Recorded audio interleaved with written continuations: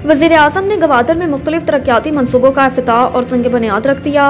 वज़ीर अजम शहबाज शरीफ ने एक रोज़ा दौरा गवादर के मौके पर मुख्तलिफ़ तरक्याती मनसूबों का अफ्ताह और संग बुनियाद रख दिया। वज़ीर अजम को तरक्याती मनसूबों के हवाले से ब्रीफिंग दी। मनसूबों में चाइना एक्सपो सेंटर बिस्निया खसार रोड, ट्रांसमिशन लाइन और न्यू गवादर इंटरनेशनल एयरपोर्ट शामिल हैं। आर्मी चीफ सईद आसिम मुनीर भी तकरीब में मौजूद थे।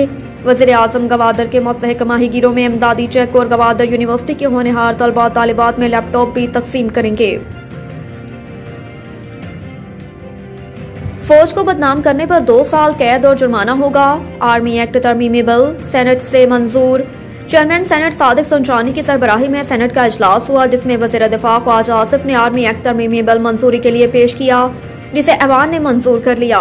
बिल के मतन के मुताबिक सरकारी हैसियत में मुल्क की सलामती और मफाद में हासिल मालूम के गैर मजाज इंकशाफ पर पाँच साल तक सख्त सजा दी जाएगी। आर्मी चीफ या बाख्तियार ऑफिसर की इजाज़त से इंकशाफ करने वाले को सजा नहीं होगी। तरमीमी बिल में कहा गया कि पाकिस्तान और अफवाज पाकिस्तान के मफाद के खिलाफ इंकशाफ करने वाले से ऑफिशियल सीक्रेट एक्ट और आर्मी एक्ट के तहत निपटा जाएगा। बिल के मुताबिक इस कानून के मातहत शख्स सियासी सरगर्मी में हिस्सा नहीं लेगा।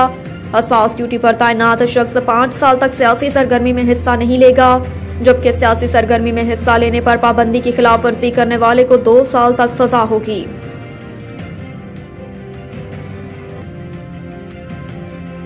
आईजी हर हाल में तीन साल मुद्दत पूरी करे, सिंध हाईकोर्ट का आईजी को बाख्तियार बनाने का हुक्म। कराची में सिंध हाईकोर्ट ने सिंध पुलिस में सियासी मुदाखलत खत्म करने से मुतल कानून साजी के खिलाफ दरखास्तों के केस में आई सिंध को मुकम्मल बाख्तियार बनाने का हुक्म दिया।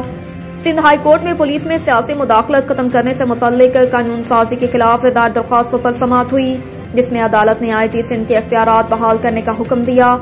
अदालत ने अपने फैसले में सिंध हुकूमत को एडी को आज केस के सिंध हाईकोर्ट के फैसले पर मुकम्मल अमल दरामद का हुक्म दिया। सिंध हुकूमत को मुकर्रा मुद्दत से पहले आईजी सिंध को हटाने से रोक दिया। अदालत ने अपने फैसले में कहा कि तीन साल पूरे होने से कबल आईजी सिंध को अहदे से नहीं हटाया जाएगा और आईजी हर हाल में तीन साल तक अपनी मुद्दत पूरी करेगी।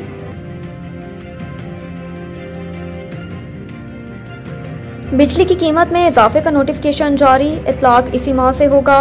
नोटिफिकेशन के मुताबिक बिजली के बुनियादी टैरिफ में सात इशारिया पाँच ज़ीरो रुपए तक फ़ी यूनिट इजाफा किया गया।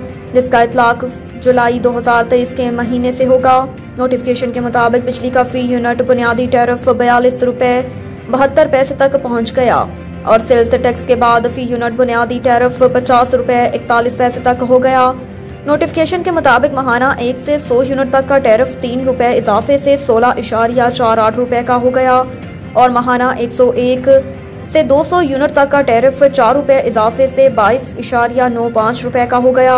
नोटिफिकेशन के मुताबिक महाना 201 से 300 यूनिट तक का टेरिफ पाँच रुपए इजाफे से, सत्ताईस इशारिया एक चार रुपए 301 से 400 यूनिट तक का टेरिफ छह इशारिया पाँच ज़ीरो रुपए इजाफे से, बत्तीस इशारिया ज़ीरो तीन रुपए और 401 से 500 यूनिट का टेरिफ सात इशारिया पाँच ज़ीरो रुपए इजाफे से, पैंतीस इशारिया दो चार रुपए हो गया।